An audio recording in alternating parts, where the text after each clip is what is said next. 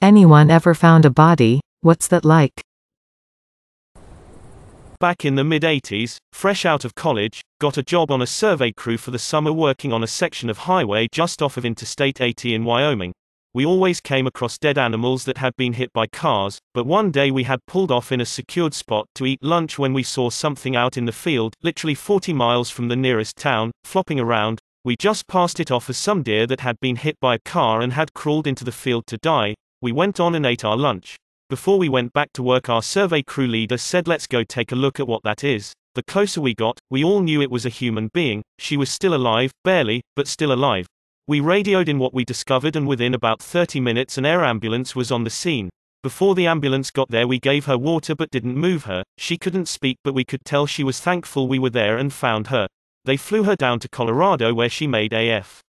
ULL recovery, Turned out she was traveling cross country with her boyfriend when they got into an argument and he decided to off her and dump her body. Thing was, she wasn't dead when he dumped her body where we found her. He had beat her and strangled her with a rope and when she passed out he thought she was dead and dumped her. Never heard any more but only know she made a full recovery and the guy went to prison. Edit, thank you all so very much for all the upvotes and numerous awards. Many of you had great comments and questions that were wonderful to read. One reader suggested I attempt to contact the victim. I am mulling that over. It's been 35 years. Yes, there are things I would like to know for closure on my end, but I'm still not sure I want to open healed wounds on her end of things. That day, we just happened to be in the right place, at the right time, otherwise it would have ended differently. Went to check on my uncle because he'd not been heard from. I knew before I got the front door open that he was dead by the smell. He was in his recliner. Drank himself to an early grave. I used to work at this sports bar so it wasn't uncommon for people to leave their car in parking lot for a day or two. After having a couple days off I come into work and this car that was there a day before my weekend started is still parked in the same spot. I tell me boss about it and go check it out. As I get close to the car the smell hits me like a truck. Some guy committed suicide in his car during a heat wave in the middle of summer. I call the cops and tell my boss. When the police arrived I was asked to make a statement. While I was doing this the paramedics showed up to remove the body, they got this bloated rotten corpse halfway out of the vehicle when it just fell apart, splattering on the pavement. I'll never forget that beep smell. In November of 2004 I had a very best friend who lived three blocks from me. We were both managers of the same restaurant but I had recently graduated from college and had started my career path but still worked with him on weekends and school vacations. One freezing cold Monday night, the restaurant called saying he hadn't shown up for work. I had a key so my roommate and I walked over. Upon entering his apartment, he was dead on the couch after taking more than one bottle of Ambien and a handle of vodka. I don't remember all the details details of what I remember from the scene or what it looked like I'm paying a lot of money and therapy to forget. A full family, father, mother, plus two kids, dead in an upside down car on a dark road. We found a body washed up in the rocks on the beach. I was taking photos of vultures because they were sitting on the rocks and they were pretty large. I first saw his distended stomach and followed it down to his foot. I grabbed my husband and said, That's a body. Is that a body? Oh my gosh that's a body. After double checking, we walked away to call 911. Checking a third time, from a different angle, I saw some of his skull missing and the unmistakable human hand. Somehow, we were able to get cell service long enough to tell the 911 dispatcher which state park we were in. Ambulance, firefighters, state police, a Coast Guard helicopter, truck and boat all showed up. It was amazing to watch. They carried him up in a body bag, placed him on the asphalt and left him there for 30 minutes. It was just another day to first responders. Oddly, we are thankful to have found him because he was on part of the beach no one ever crosses the river to get to. The tide was coming in when he was pulled out. Had we not found him, when we found him, the crabs and vultures would have finished him off. His family would have never had answers.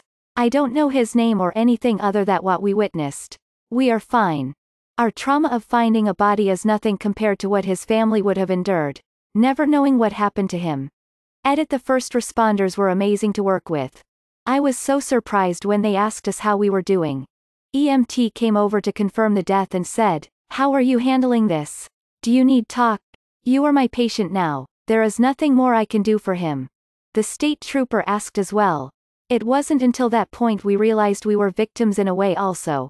A huge shout out and thank you to all of the first responders reading this. Every day, you professionally handle what may likely be somebody's worst nightmare. You are amazing people. Please take care of yourselves.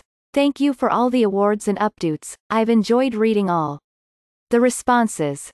Edit for those asking, we found him August 21, 2020 in Oregon. My granddad was a few months shy of 90 and still lived by himself. He was pretty spry. My mom called him every morning. One day he didn't answer, so she called me to go over and check on him. They lived about 40 minutes away, and I lived about 5 minutes away.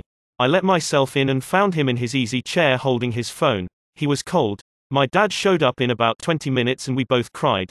I called the police and they came in, checked it out, and did us a favor of calling the funeral home we asked.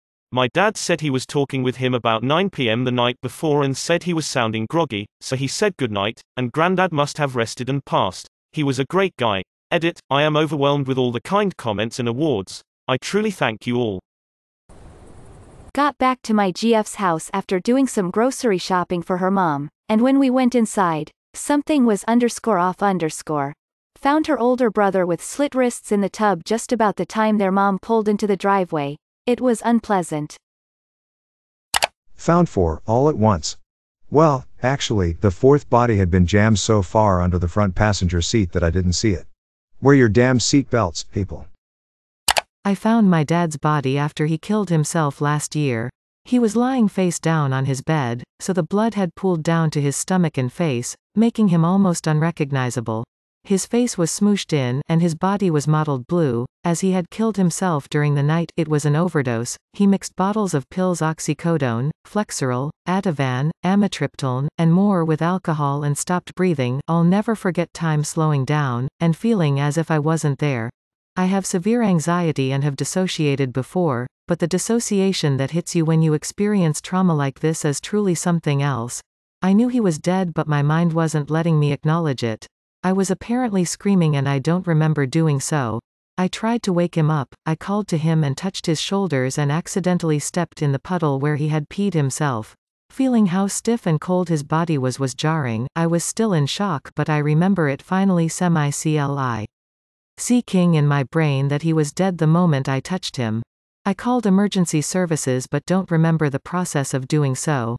My dad had been suicidal for years, and I was used to taking care of him during his drug and alcohol binges. As such, I had been mentally preparing myself for this moment for years. He had tried to mutilate and shoot himself a year before, and I'd cleaned his blood then.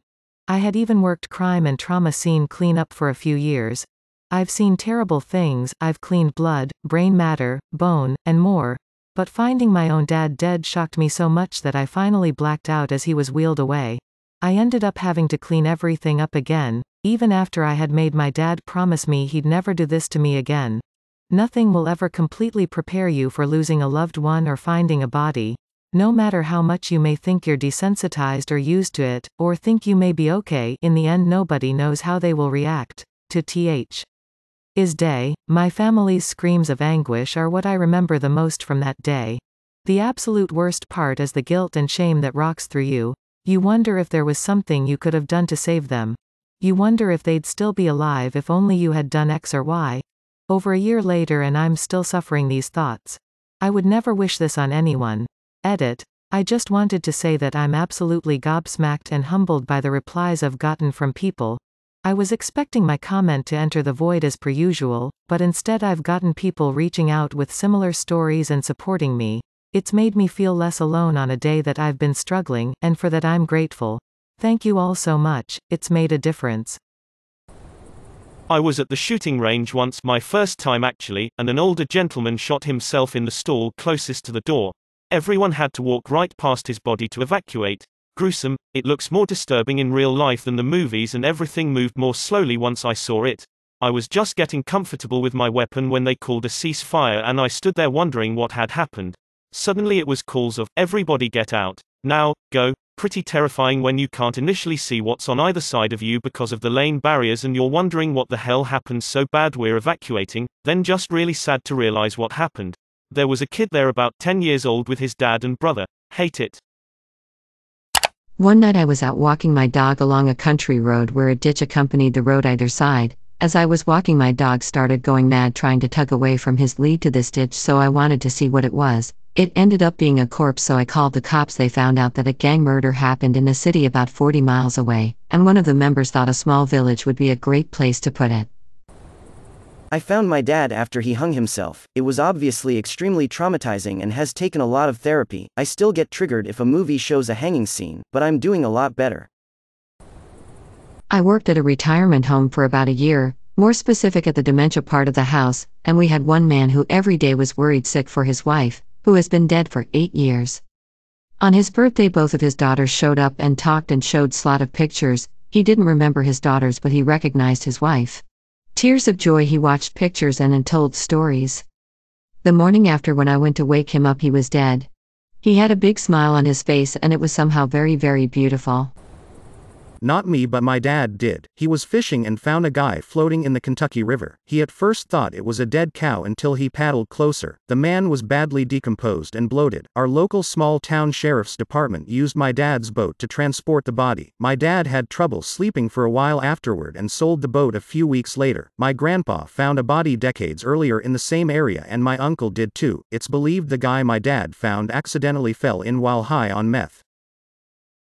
I used to work in self storage, and when I left, a buddy of mine took over the property I used to manage. We took a weekend off from our respective jobs to go to Vegas a few years ago. He lived on site in a company apartment. When we got back late in the evening, he walked around his property as is pretty typical. There was a car parked with someone in it. He knocked on the window and got no response. He called me and told me about it, and as I was close by, I told him I'd be right there. As I got close to the car, I could smell death. The car was locked and all the windows were fogged up inside. It was obvious that the person inside was dead. He called the police and they responded with fire and medical. Yeah, the guy was dead. Reviewing the security cameras showed him come in and park there about 36 hours earlier. It was an overdose. I don't think it was ever determined to be accidental or suicide was with my mom. We were doing an occupancy check because this guy's hadn't paid his rent. This behavior was normal for the people who live on the property, so we go in and see if the apartment was empty. I go to the back room and he's dead in bed. I mean, yes, but I work at a hospital and used to work in a nursing home, and it's not as alarming in those settings. I didn't exactly find a body, but I had a neighbor in my apartment building jump. I didn't know what happened at first, as I just saw a man lying on the sidewalk and I couldn't see much from my first floor apartment. I worked in human services with homeless folks and saw that he wasn't wearing shoes, so my first thought was that he was intoxicated and he either fell or passed out. I ran outside worried that he was overdosing. As soon as I ran out the front door, I saw that on the other side of his head was a massive pool of blood and I realized what happened. He he was gasping for air with wide, open eyes when I got to him, his pulse was weak, my GF was already calling 911 so I tried to gauge responsiveness and keep him conscious, but the entire time, he felt cold. I remember thinking that his skin felt like rubber. Someone else came outside and did CPR when we couldn't find a pulse anymore. He was dead by the time EMTs arrived, and hash X200B, all of that really haunted me, but what bother? Me most was that for weeks after I would often hear women in the apartment gossiping about it and talking about how they watched it all happen from their balconies. The thought that so many people watched him jump and didn't even try to help bothers me more than anything else. Found my uncle dead in his apartment. I learned that day what a rotting body smells like. The answer is rancid fish. Nice try, FBI. May your day be filled with joy and happiness. And please remember to like, share, and subscribe for more quality content every day.